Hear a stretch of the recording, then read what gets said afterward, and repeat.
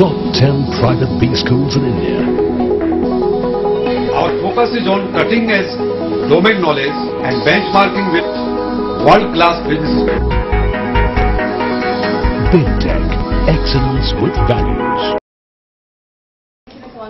कि अगर आपके सेंटर में कोई आएगा तो रियो ओलंपिक्स के लिए आप कैसे तैयारी कर रहे हैं सो मुझे लगता है अगर रियो ओलंपिक्स जाने से पहले अगर इतनी बड़ी ट्रीटमेंट कराने आएगा तो ओलंपिक्स के लिए नहीं जा सकता जहाँ तक चोट की बात है जी हाँ खिलाड़ियों के I mean it's a very common sign चोट ज़रूर लगती है। बट uh, मैं फॉर्चुनेट रही कि अंडर द नाइफ मुझे जाने की ज़रूरत नहीं पड़ी। जो भी इंजरीज हुई चाहे हैमस्ट्रिंग हुई shoulder even elbow tennis elbow injury हुई थी तो uh, वो ट्रीट बिना अंडर द नाइफ जाए हो गई। सो so, अच्छे फिजियोज मिल गए अच्छे डॉक्टर्स इंडिया के अंदर भी मिले अब्रॉड भी मिले। सो फॉर्चुनेट रही कि मुझे uh, वरना अगर ऐसी सर्जरी मुझे देखने को मिल जाए तो शायद ज़्यादा चोट लग जाती है।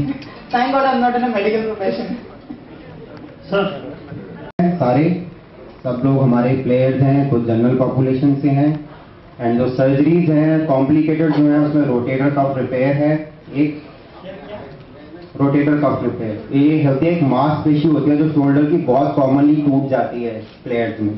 ठीक है दूसरी है इंस्टेबिलिटी रिपेयर खिलाड़ियों में इंसेसिव कंधा निकल जाता है खिलाड़ियों का बार बार उसको कैसे रिपेयर किया जाता है? जबकि ये प्रोसीजर्स हमारे यहाँ बहुत कॉमनली किए जाते हैं but it is this how इस कॉन्फ्रेंस के ज़रिए हम सारे डेलीगेट्स को दिखा सकते हैं कि कितनी आसानी से ये प्रोसीजर्स किए जा सकते हैं अपने ही देश में। Do we have any prominent उसके बाद नेक्स्ट आता है शोल्डर जो सब जहाँ पे अंदर की मांसपेशी टूट जाती है और पेशेंट्स को रिकरेंट डिसलोकेशन जिसे कहते हैं शोल्डर का हो जाता है खिलाड़ियों को The question is the way the specialist gives uh, uh, diagnosis in the, over, uh, the developing countries, doctors and specialists. Uh, same way it will be here as treatment Definitely. All the treatment that we are providing it at par with any international standards. Hmm. The procedures that we are going, they are, the quality of treatment is at par with any of the best centers across the world.